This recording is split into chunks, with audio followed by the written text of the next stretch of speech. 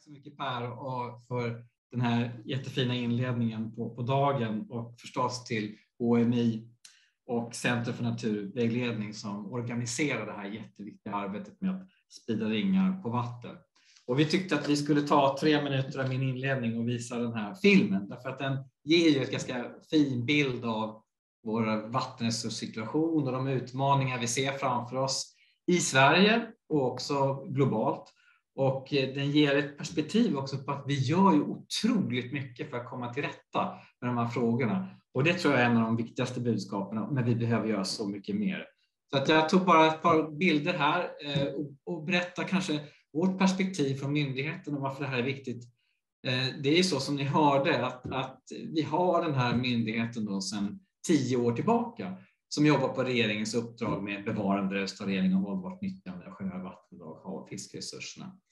Och eh, det, det, intressanta med det här det är ju att, att eh, vi har inte funnits som, som en fokuserad statlig myndighetsverksamhet eh, länge. Utan vad som sker nu det är egentligen att vi börjar först nu lära oss hur vi ska förvalta de här resurserna. Hur vi ska återställa kapaciteten i våra ekosystem och hur vi ska börja nyttja dem smartare. Och exempel på det, det är ju att det finns två stora utredningar som ligger här och lurar lite grann. Den ena handlar om hur ska vi utveckla vår vattenförvaltning i Sverige? Eh, vi har haft en, en ganska avancerad, eller har en avancerad utvecklad vattenförvaltning sedan vi gick med i EU och sen med, med färskvattendirektivet sedan 2000. Eh, men det är många frågeställningar kvar där. Hur, gör vi, hur ser vi till ett brett nyttjande i den? Den har ett fokus på kvalitetsfrågorna och det är riktigt. Men det är också delvis kritiserat för att vi inte får med nyttjandedimensionen. Och den här utredningen ligger på regeringen och riksdagens bord snart och, och, och, och fortfarande oklar. Och den andra stora utredningen kom förra året och det är Havet av människan. Och det är en jättespännande utredning att titta på. Det var Miljömålsberedningen eh, som, som gjorde den här.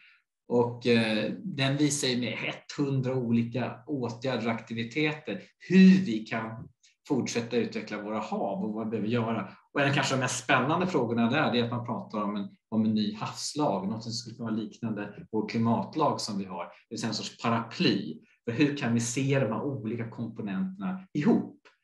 Uh, och jag tror att det där kommer bli jättespännande att se hur, hur regering och riksdag tar det här vidare. Men de där två visar att det är mycket kvar. Och det tredje exemplet på det, det som ni ser till höger i bilden här, det är det pågående arbetet med eh, FNs årtionde för havsforskning. Och det är också en stor satsning när Sverige har gått in jättestarkt i det här arbetet. Och de som ni ser, det här med frågorna där i mitten som vi, vi vill satsa på tillsammans med Formas och Sida och, och liksom nationellt, det är på havsmedvetenhet då, och då kopplar det förstås upp också till sötvattensdimensionen och det är förvaltningsfrågorna och det är mycket om data och innovation och digitalisering. Så det är sådana exempel. Men så tänkte jag bara säga att det, vi, det är mycket storytelling idag. Det, det, är det som är spännande med det här. Hur berättar hur för vi ut de här budskapen bortom lagarna och, och, och reglerna och vad vi ska göra? Så jag tänkte bara berätta hur, hur hamnade jag här i det här? Jo, ehm, jag är då uppvuxen i Östersjöregionen, Åbolands skärgård som ni ser till höger där i den här bilden till vänster och sen i Stockholms skärgård. Och eh, på min tid, eh, jag är ju då eh, född 66 och då var det fortfarande en helt annan situation i våra, våra Östersjöregion. Det var betydligt bättre vattenkvalitet. Det var gott om fisk. Det var eh, badbart på ett annat sätt. Förutom i Stockholms skärgård, för det, där fick man inte bada, där jag bodde i alla fall, eh, på grund av föroreningarna. Men mycket har blivit bättre där. Men en stor problematik det var just övergödningsfrågan och som ledde till de enorma algblomningarna. Och det har vi upplevt så påtagligt. Så jag tycker den här bilden som SMHI producerade 2005 när man ser de här massiva algblomningarna, det är verkligen eh, på ett sätt chockerande och på ett sätt så väcker det så här, här måste vi göra någonting.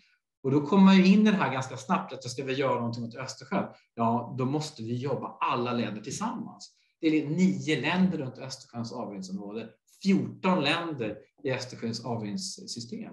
Vi måste jobba med ryssarna, vi måste jobba med Vitryssland, vi måste jobba med Polen, Baltikum tillsammans för att lösa det här.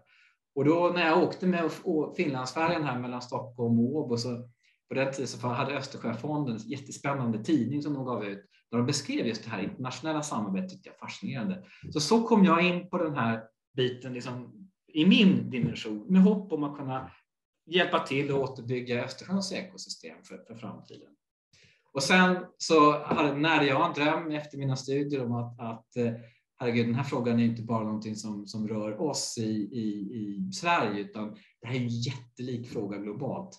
Och eh, hade drömmen om att komma och se Zambesi-floden och Zambesi-systemet. På den vägen blev det lite grann. Jag, jag fick en möjlighet att börja jobba på Sida och komma in på de här vattenresursfrågorna. Hur delar vi begränsade vattenresurser?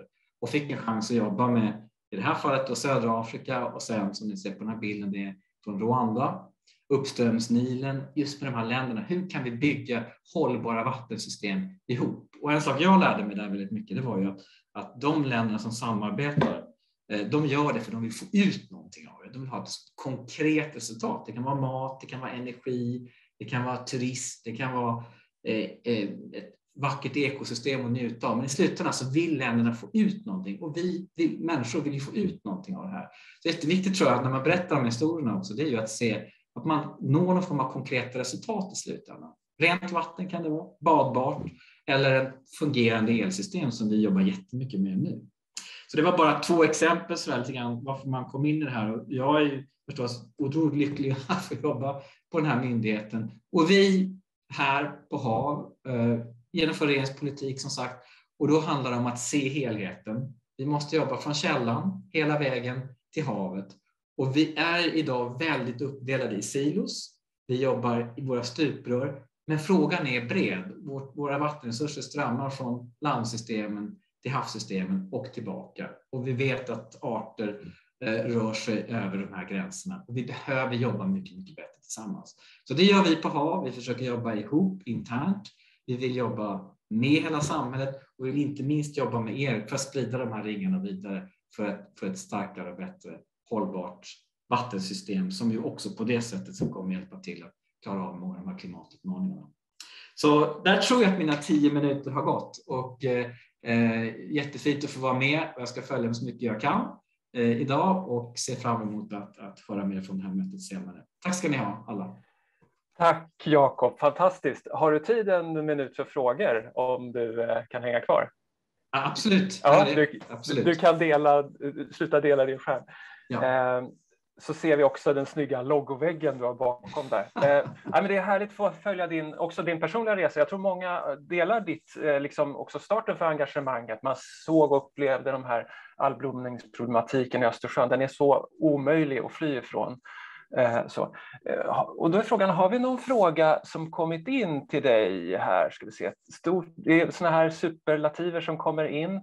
Tack för en trevlig presentation. Men jag kan dra en fråga som vi, vi har till, vi vill ställa flera. Har du stött på något nytt eller annorlunda grepp att berätta om vatten på sistone som du vill tipsa om?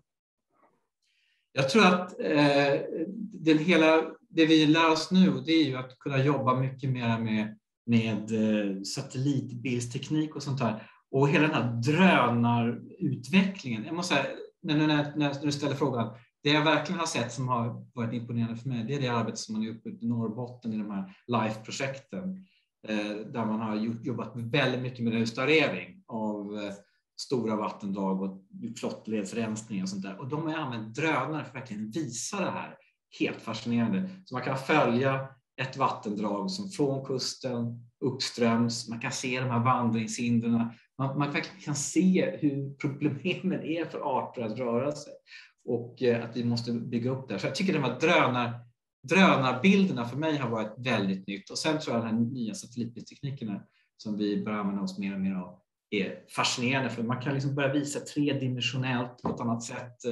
Man ser många som vi har sett jag kan fortsätta för jag tycker också undervattensbilder som kommer nu är fascinerande också med nya kameratekniker som är helt otroliga. Ja, men vad spännande. Tack för det svaret. Vi kommer få uppleva mer av det under dagen här. Det var ju just satt, eh, liksom, att se från drönare ett sätt att visualisera det man inte har sett tidigare, så det blir, mm. så, det blir så kraftfullt.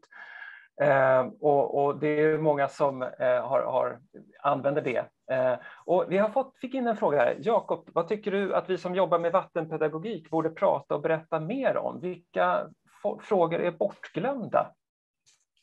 Nej, jag tror lite grann som jag var inne på det här som, som jag berättade från min, mina erfarenheter från internationellt. Jag tror de är applicerbara också i, i vårt liksom, lokala kontext. Och det är ju liksom, varför vi gör det här. Det finns ju ett, ett, ett värde att bevara våra ekosystem för att de är våra ekosystem. De har en värde i sig.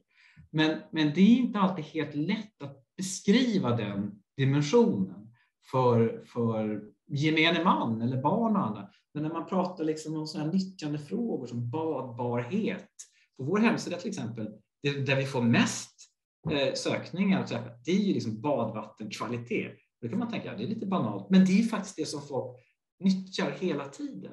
Så jag tror det här liksom att man hittar de här eh, kopplingarna mellan varför vi vill jobba med de här restaureringsfrågorna eller annat, för att det har en direkt nytta på något sätt. Det är banalt kanske, men det, det ger de här, eh, det skapar en, en, känsla till varför vi gör någonting. Eh, det tror jag är en viktig poäng. Ja, men, tack. Stort tack för det inspelet och eh, tack för din medverkan. Vi är så glada att du har varit med här och kunnat inleda den här konferensen.